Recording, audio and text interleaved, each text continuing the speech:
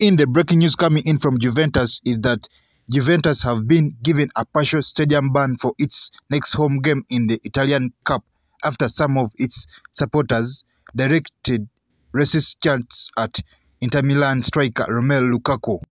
It's official, Fulham striker Alexander Mitrovic has been banned by FA for eight matches after the incident with the referee Chris Kavanagh at Old Trafford. It happens here.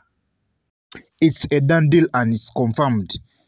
Chelsea have confirmed that Frank Lampard will take charge as caretaker manager until the end of the season. Talks still going on with Julian Nagelsmann and the club. It happens here.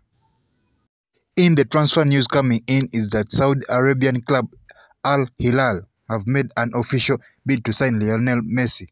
The salary is believed to be more than 400 million euros per year, but Messi has rejected a contract offer. He wishes to stay in Europe at least until Copa America 2024. His career at PSG expires at the end of the season. It happens here. In the sports news coming in from Arsenal Football Club is that negotiations are currently underway between Arsenal and Reiss Nelson representatives for a contract extension.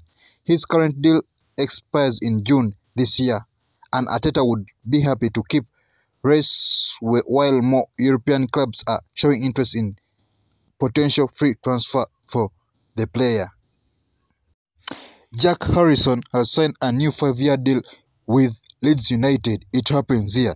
Leeds director of football Victor Orta said, Jack is a crucial part of our squad and our plans going forwards and I'm really happy he has agreed to commit his long-term future to the club. In the news coming in from PSG is that Galtier will no longer be PSG head coach next season. It happens here. The French club are planning to contact Julian Nagelsmann and Zidane is also among the potential managers to take over the job at the club. Man City, Man United and Real Madrid are all interested in signing Benjamin Pavard. He has just over 12 months left on his contract deal and is considering his options. In the news coming in from PSG is that PSG have started talks to extend El Chadaille Bitshiabu's contract. He was born 2005. Talks are currently ongoing at the club. It happens here. In the transfer news coming in from Leicester City is that City are leading the race to sign Giorgi as the Georgian goalkeeper is attracting a lot of interest. His agent Levan is in London working on a summer move for his player. A move for Randal Kolo Muani, which was recently ruled out by the bosses, could become an option for Bayern Munich again following the arrival of Tuchel. This is it. Tuchel wants to have a complete picture of which players fit his philosophy.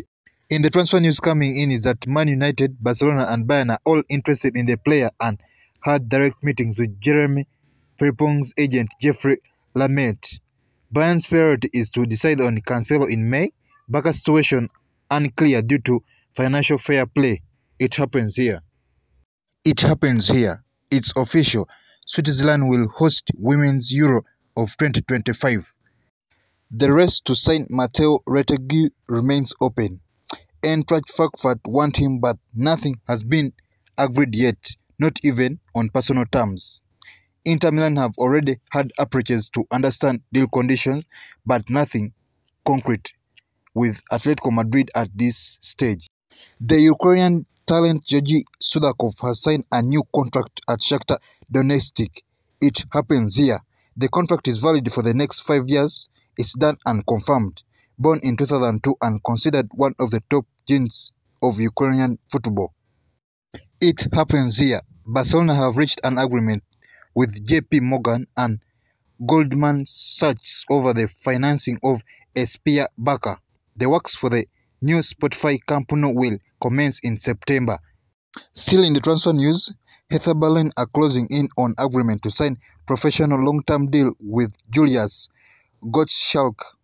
Talented attacking midfielder, aged 16 years, had four proposals but he's close to accept the new deal offered by Hertha Berlin. It happens here.